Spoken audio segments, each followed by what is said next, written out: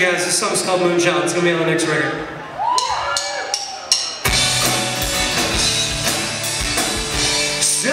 More than a commission.